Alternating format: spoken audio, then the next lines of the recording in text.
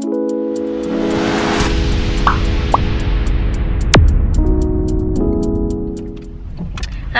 good morning.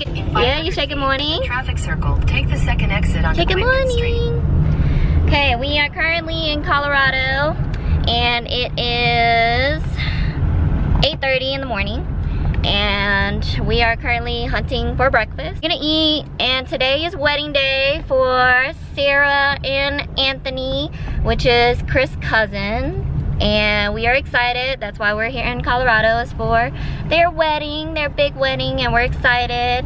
And we're just gonna, it's just me, the hubby, and Avery and Everly. We are all heading to go eat breakfast. And um, I really didn't vlog that much yesterday because it was pretty hectic getting on the plane, having to take two planes, and then having to get to Colorado.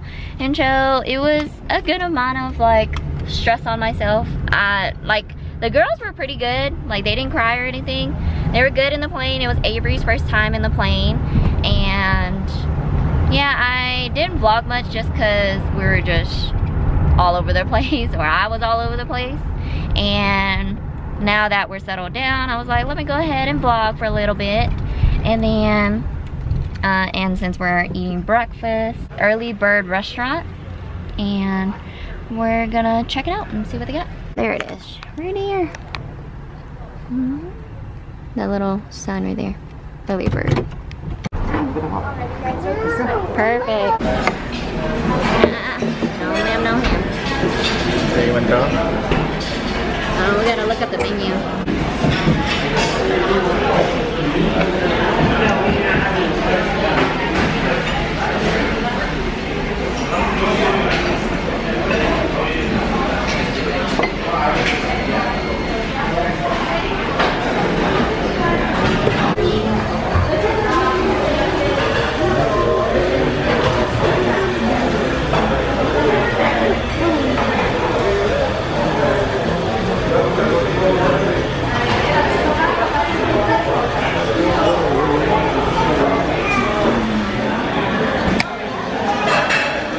Yeah.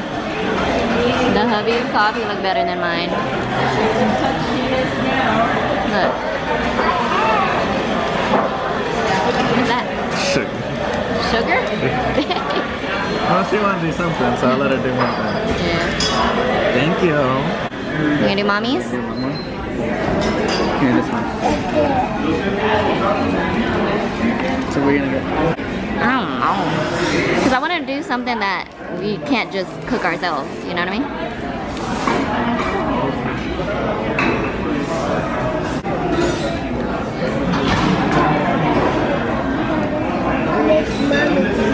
You gonna mix mommies? Wow. Okay.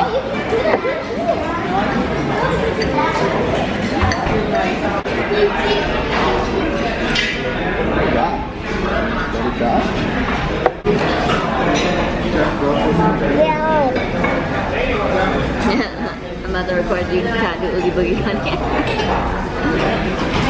wow. Why Oogie Boogie's head look like that?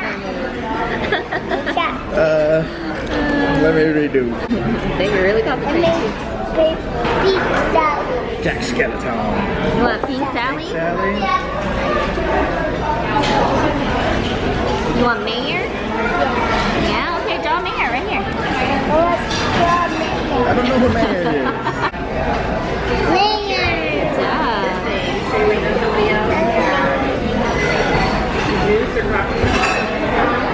Mayor Chunky. Mayor.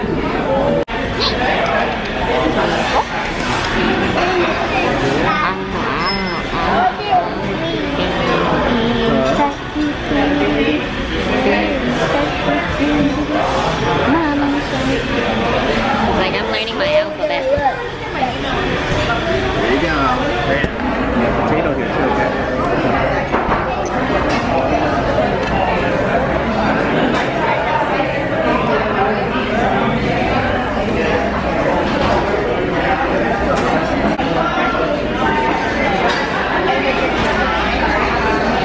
Ooh, gravy's pretty good, honey. You wanna add add it to your biscuit.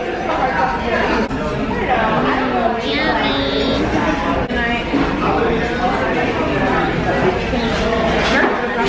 Baby, are gonna two one on the side. Get a chair. Okay, so it's about 9.40. Took a good bit to get our food, but overall, how would you rate that restaurant? Would you go back, honey, for the food or, you know, I say the coffee was bomb. I don't know if I'm just a coffee addict, but I say the coffee was really good.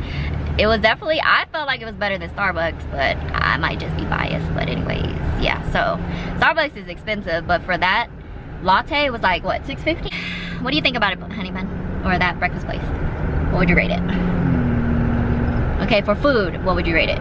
One being really, really nasty, or 10 being like the bombest of the bomb? I'll say like a seven. A seven on food. Okay, so what about the coffee? One out of 10. Yeah, the coffee's pretty good.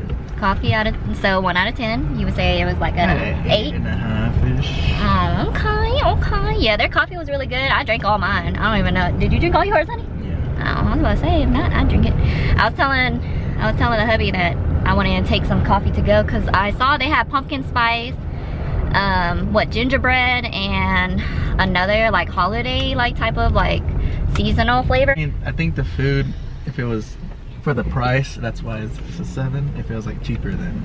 Yeah. So just want to tell you our experience of how that breakfast place was. But see you in the next video. Bye.